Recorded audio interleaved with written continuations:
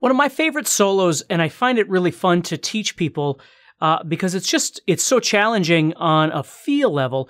Is another brick in the wall part two um, by Pink Floyd, of course, David Gilmour. And so with this uh, solo, you're going to be using primarily D minor um, pentatonic for the most part. Uh, there's a couple other little things in there, but the biggest thing about this is the bending for the most part. There's a lot of other really cool stuff in here, but the bending is insane. So I am going to preface this solo by saying that in order to really get these to ring out, the best thing you could do is either be extremely loud uh, to be able to have uh, the notes ring out as long as you need them to.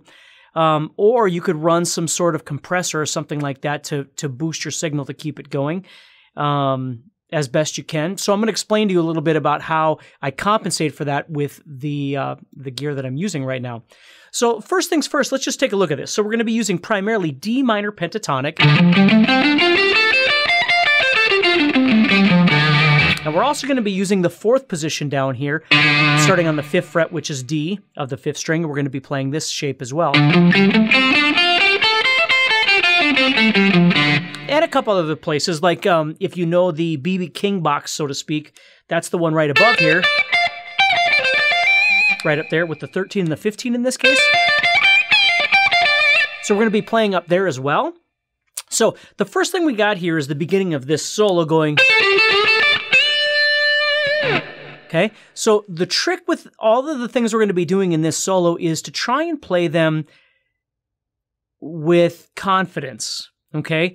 Um, David Gilmour, if you've ever heard me talk about him before, David Gilmour for me is one of those guys that's really hard to replicate because he's so smooth. I mean, he just does some things that don't seem like they should be that hard, but they they just they really are um, in terms of replicating the sound. So do the best you can, just like I will, and we'll look at this. So the first thing we've got here is this lick. Now what I'm doing here is I'm doing a pull off from 13 to 10 and then I'm going to play my uh, 12 on the fourth or on the third string, excuse me, and then I'm going to go back to the 10 on the second string. Then I'm going to go back to the 12th fret of the 13, or excuse me, of the third string, excuse me, and I'm going to do a bend there. Okay, just bend it up a whole step. And then I'm going to go to 10, 10.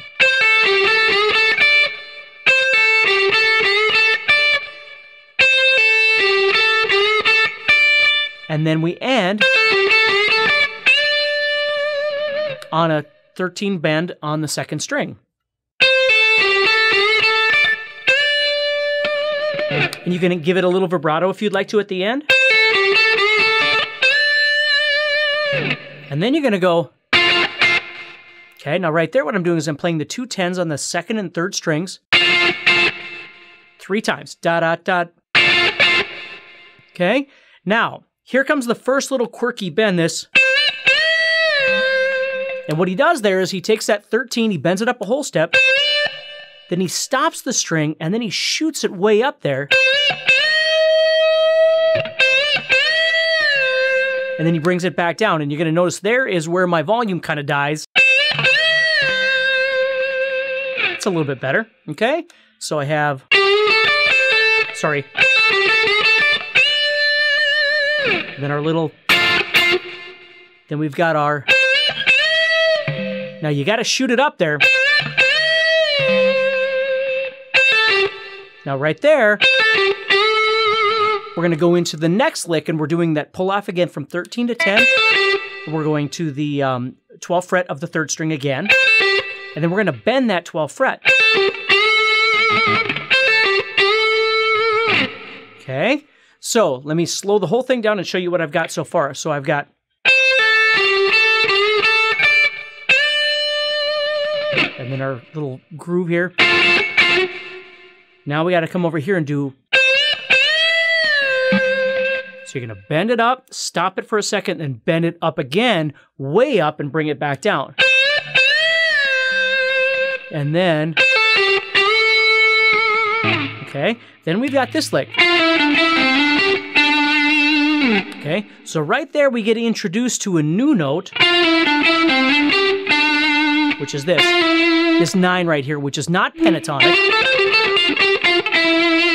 right there. Okay. We often call that a second or a ninth in a bigger scale when we talk about diatonic scales.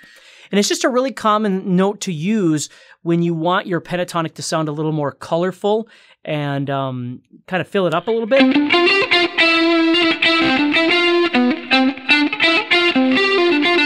Okay, so that's what we've got there. That's what he's using. So he's to go. So he's doing a pull out from 10 to 9, then doing uh, 12 back to that same 9. Okay. Then we're to do a slide from 10 to 12 on the fourth string. And then we're to go to 12 on the third, and then back to 12 on the fourth. So, so it's a really pretty sounding lick. Okay? So now we've got. Hear that rhythm? And hear that rhythm? They're both very similar to each other. Okay?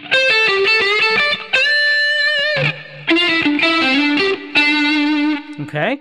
So again, picking up some isms here that, that David Gilmour does that we can certainly use both in position and in groove and in rhythm, of course. So starting at the beginning here, we've got and then then we've got our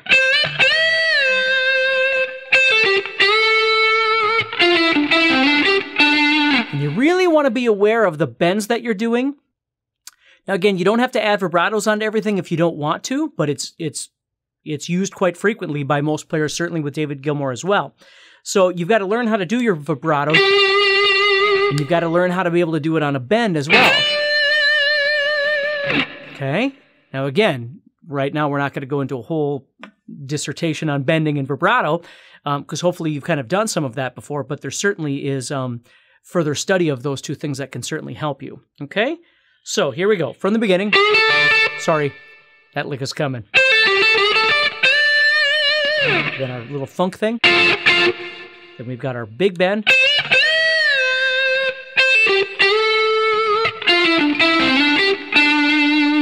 Now we're going to end that with those two tens again. Just real quick. Then we're going to go. So we've got these two tens to this 12. So I've got da da da da da da da da. What actually sounds like a um, Rage Against the Machine song. Da da da da da. Um, Bulls on Parade. Actually, it's the same kind of groove. So we have, and then we're gonna go right there. I'm going from the two tens to the two twelves, and then back to the two tens, and giving it a little bit of a pull. Okay, so from the beginning. Then our big bend.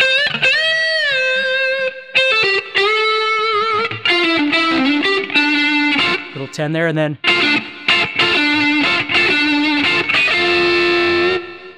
Okay, now we're going to go to the 13 on the first string, and we're going to do that with a little rake. And you can do the rake any way you want, but basically all you're doing is you're deadening the strings before it by touching them, like that.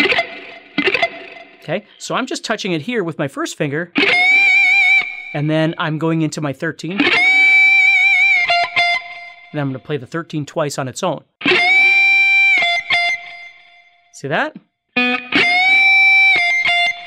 Now I'm going to go back to that 13 on the second string and do it again really big. So it's going to go.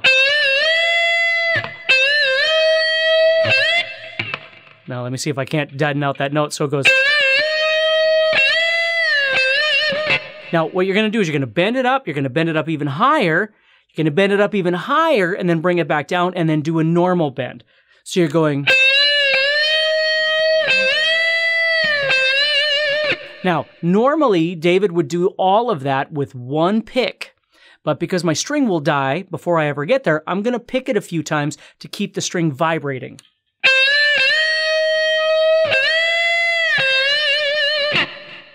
Okay.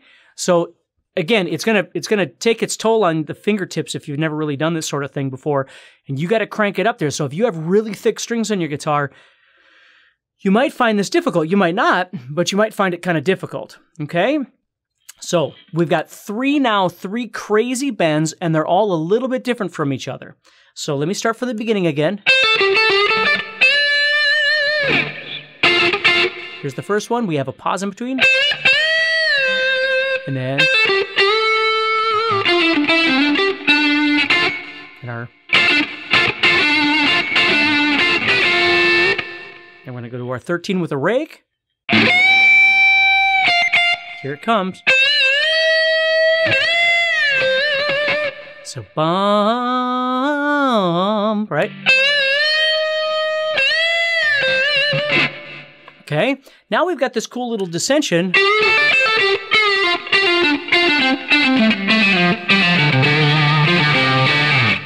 Is right down the pentatonic scale. So we're going to go pretty traditional blues lick there, or rock and roll lick. And right there, what I'm going to do is a, what's called a pre-bend or a ghost bend. So I'm playing. Okay. From there, I'm going to do some groups of three. So I've got. So right there, I'm doing a pull off from 12 to 10 on the third string, going to 12 on the fourth. And then I'm going to go. So now I'm going 10, 12, 10. So I have. And then I'm going to go 12, 10, 12 on the fifth to, or excuse me, fourth to fifth strings. So it looks like this. And then, and then, and then I'm actually going to stay there, start on that same 12, and I'm going to go 12, 10, 8. Like that. So I have. See that? So let me put the whole thing together here. So I have.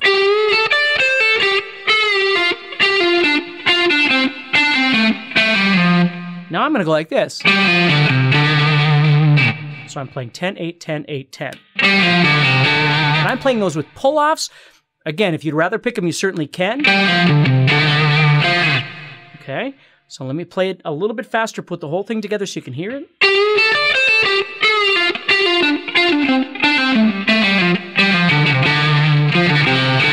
So it ends with, and then which is 8, tw- uh, 8 10, 8 10. Okay, so.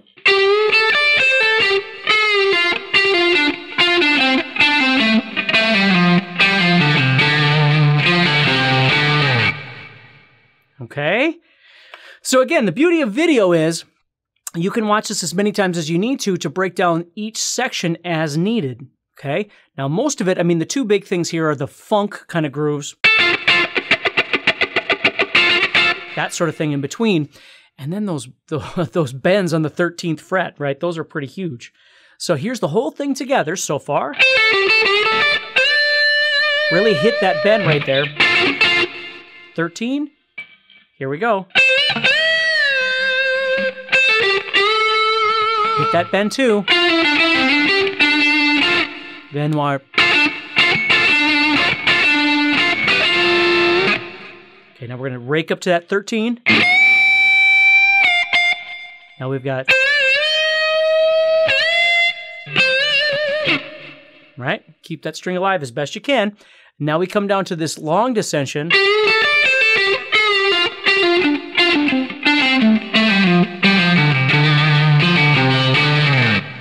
Okay, now we're going to shift gears. We're going to shift to another position. We're going to go.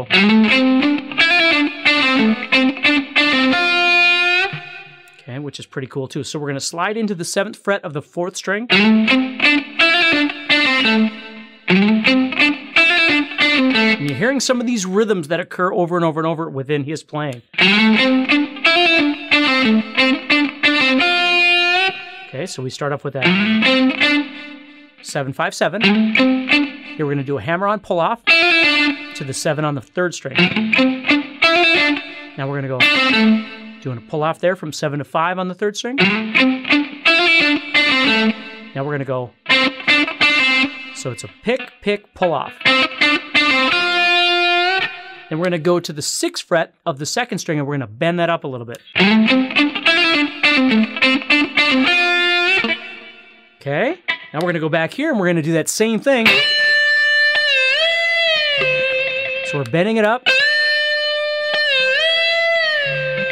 Bending it up, bringing it down, going way up, and then coming down again. Okay, so we have this. Oops, sorry.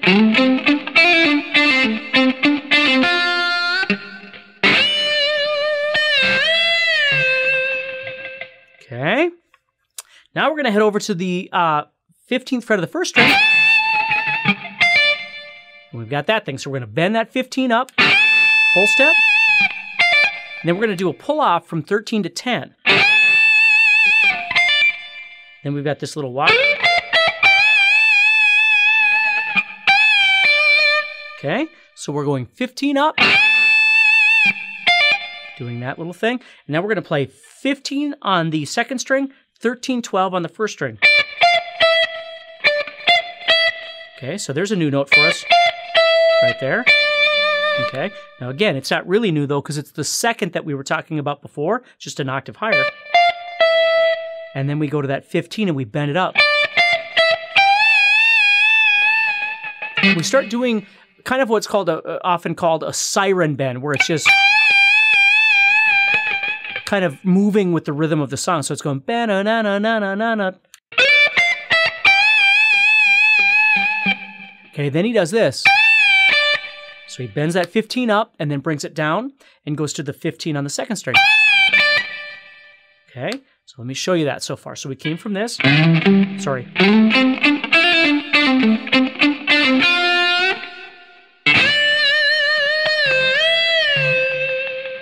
And here's our new bend, the 15.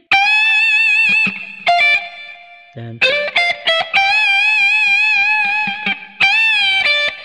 Go into there. So this thing kind of fades when he goes. Just kind of fades out, and then he goes. Okay, then we're to move up to 18. We're to hit that twice to give it a little vibrato. Then we're to move up to 20 and we're to bend that one up once. So we have. Sorry. Okay, so there we're doing two pull offs from 20 to 17. Okay, so now we've got.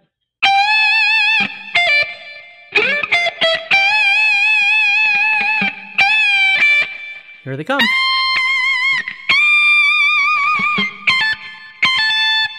Then,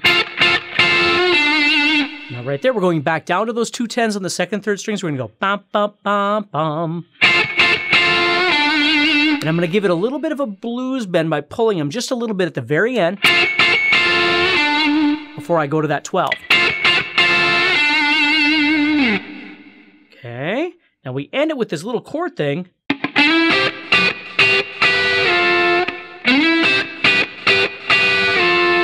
So we're going to do a little slide from 12 to 14 on the fourth string. Then we're going to go to 12 and 13 on the second and third strings. And then we're going to go to 12.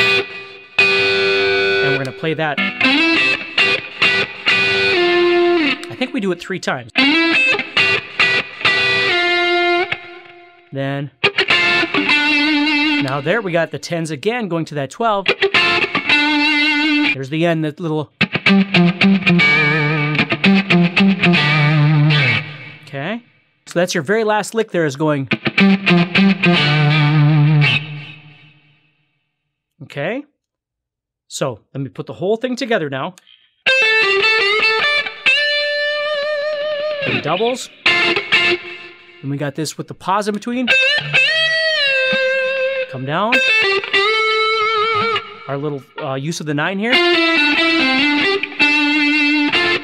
And then we've got our. Okay. Then we're going to head up to that 13 with a scrape, uh, a rake or a scrape, people call it. Now we got to go. So that's the big one. There's all those bends in there. Now we got our dissension.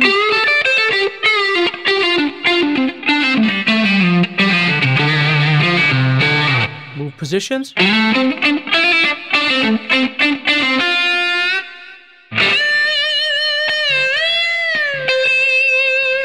pick as needed. Remember, he doesn't pick all that, but I have to to keep my string alive. And then we go to 15. And I've got that little pull off from 13 to 10. 18. 20. Two little ones. like that, and then.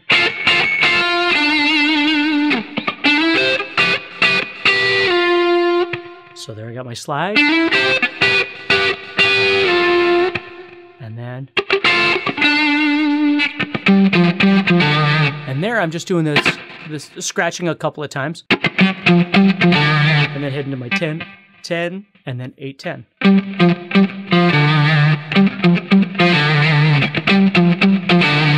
Pretty funky sounding. So, again, what do we have here? We really have this position of D minor. We have this position of D minor, which is the same as the one up here. And then we've got a little bit of this BB King box here, this blues there that he's using as well. And then we know that nine, the ninth or the second we call it,